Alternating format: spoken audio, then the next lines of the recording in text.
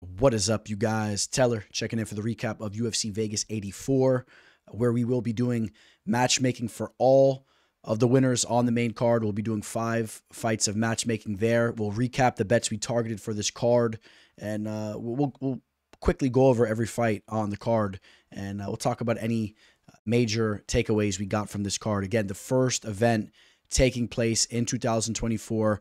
Uh, it, wasn't the way I wanted to kick the year off from a betting standpoint. Uh, interestingly enough, we pick almost every single fight correct on the card, including an underdog pick of Mario Batista on the main card. But when it came to where my action was, uh, you know, the, the two fights I picked incorrect were involved with my action, so I wasn't happy about that. Uh, you know, in the first fight, we had Joshua Van taking uh, taking a match on short notice against the UFC newcomer Felipe Bunes. Looked great, had a little bit of a slow start, uh, as he has in the past. And once he started to get going, man, he just put it on Bunes. Uh, you know, Felipe, he actually surprised me early in that fight because from the tape I watched him, I wasn't that impressed with his striking, even though I know he was coming into this fight uh, off a knockout victory that he had over an LFA, uh, over a decently respectable respectable opponent. But still, when you really watched his tape as a whole, I wasn't that impressed there. And uh, when he was fighting Van, he had a little bit of a snap and pop to his shots early on, uh, but but I think that he, that kind of uh, started to wilt. Uh, I think the adrenaline was getting to him, and then Joshua Van was just a man on a mission. I had a post on IG. He, Joshua Van reminded me of the T1000 from the Terminator. He was just going to continue to march forward until he got that finished. He's an absolute stud, and uh, he got that second round finish where he just broke down Felipe Bunes there. Uh, and the next fight.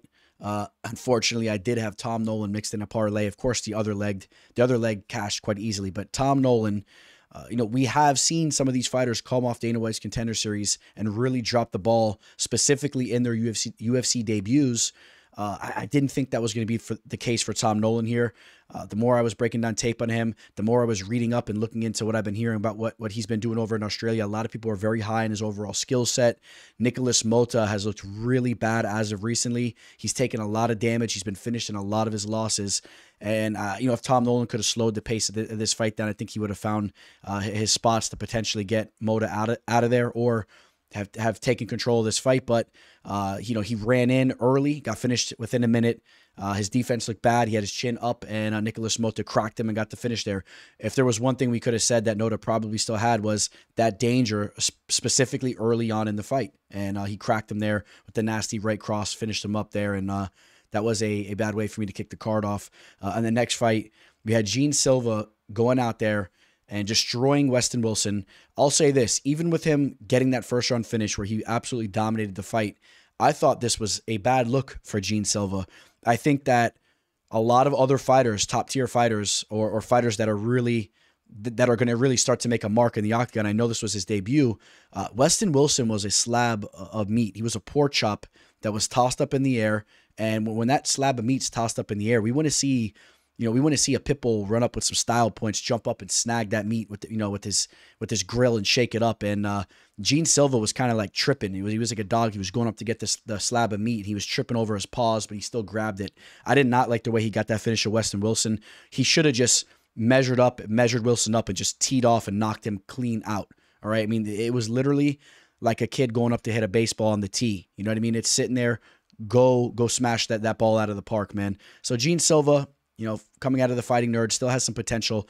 I think the the I think th- this debut got to him a little bit. He should have really handled Wilson. Wilson should have never been fighting in the UFC, and uh, he might may have be may have been the worst fighter to have ever fought in the octagon. You take a look at his two performances; he will never have another shot to fight in the octagon. So those two losses just absolutely horrible, getting finished in, the, in in the first round, both of those fights, and just looking horrible there. So maybe uh, you know Stephen Thompson put a word in and was able to get him to fight in the UFC, but not a UFC caliber fighter.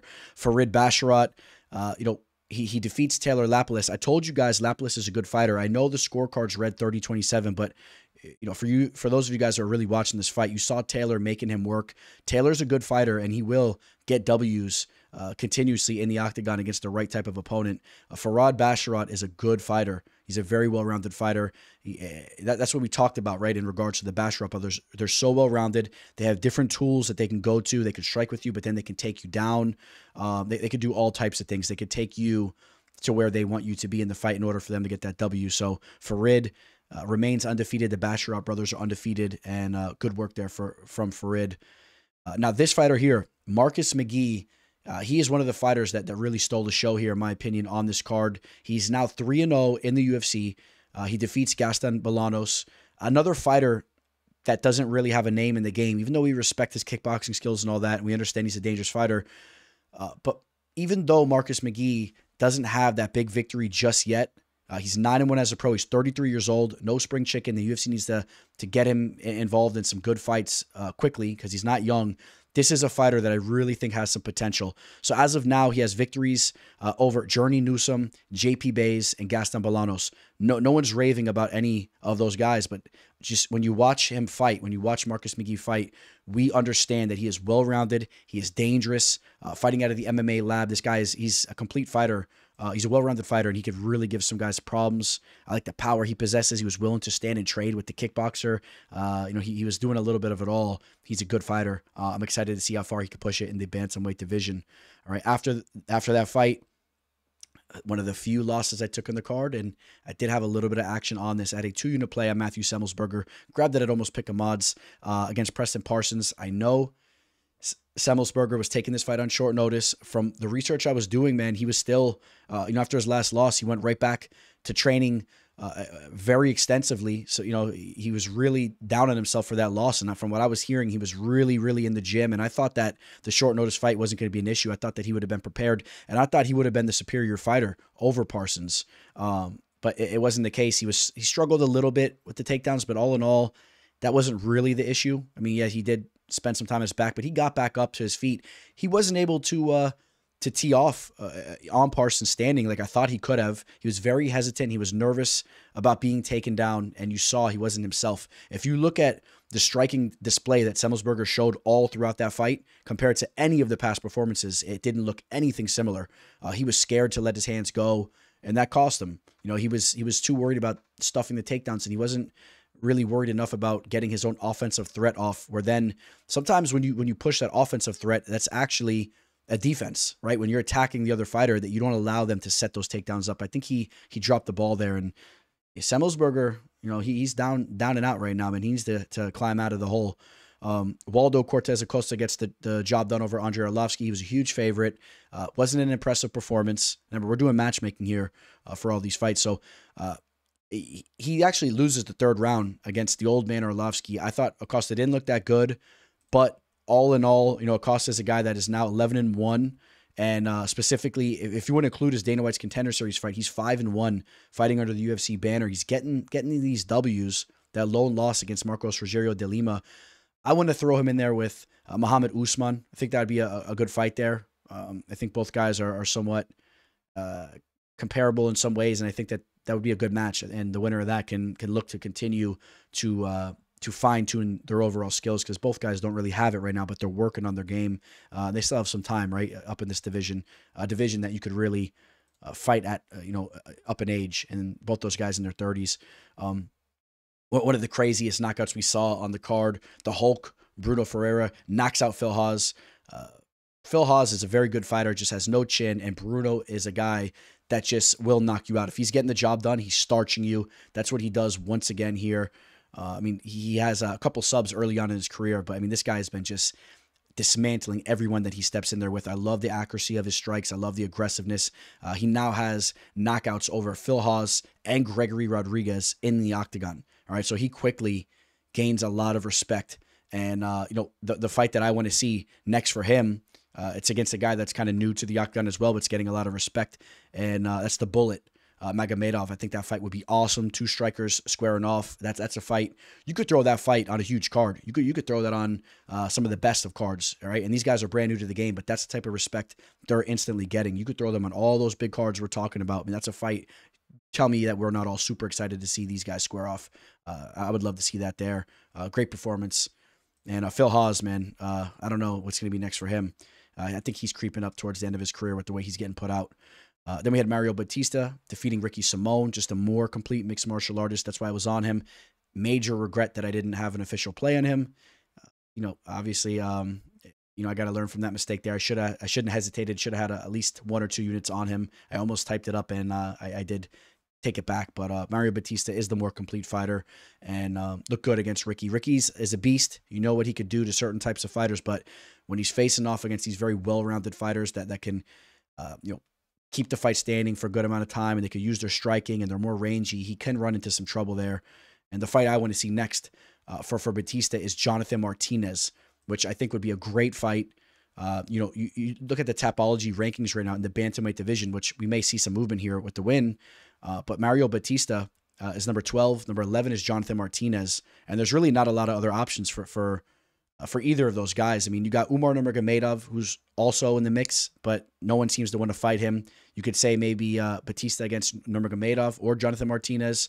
Other than that, all the guys towards the top of this division have fights already. Uh, Sandhagen doesn't have a fight. Uh, but I personally, I mean, you got a lot going on at the top of this division. So um, realistically, Jonathan Martinez should be facing off with Batista or Umar Nurmagomedov because I think Sandhagen's going to wait for something else. Uh, he already has that that kind of respect and he's chomping at the bit. Jim Miller gets the face crank choke over Gabriel Benitez. Jim Miller, an absolute legend, the future Hall of Famer. He calls out Paul Felder. You guys know that's the fight that I want to see. Book that for UFC 300.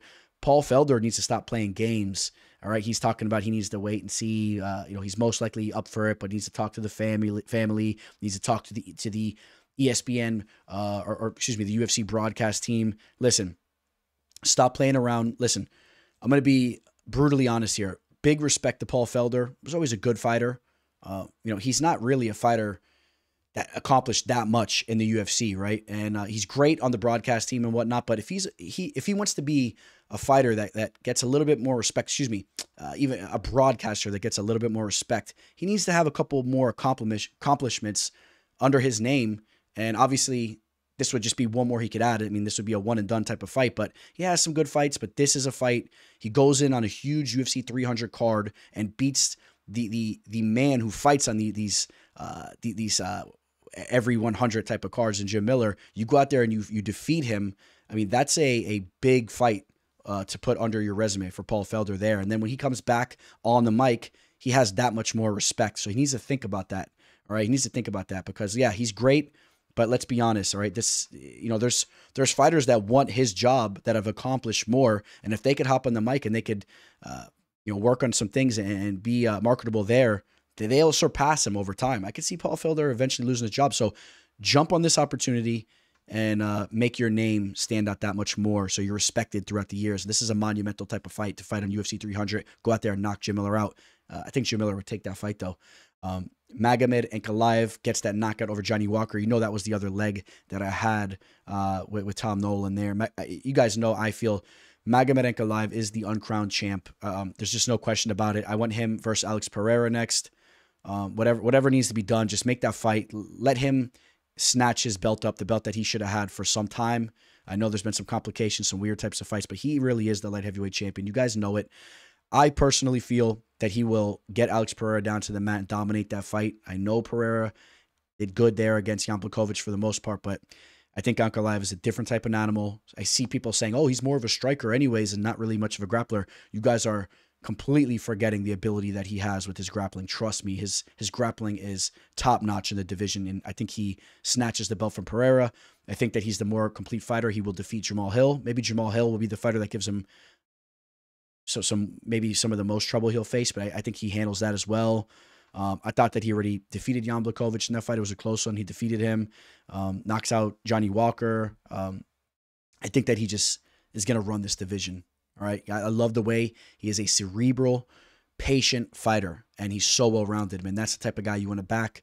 Uh, that's the type of guy you want money on to have money on, and I'll take him against all the best in the light heavyweight division. He will uh, be the champion here moving forward, man. It, it, it's just time. T- the time will come. All right. So again, not the greatest card betting for me here. I hope you guys did good.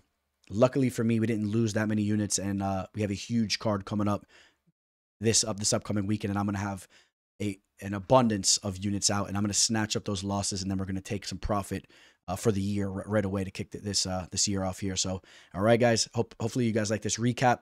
And like I said, you guys can expect a lot of content coming your way.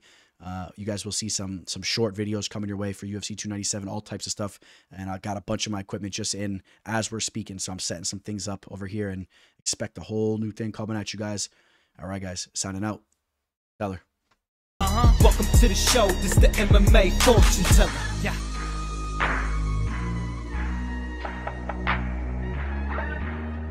The MMA fortune teller. The teller. The teller. The teller.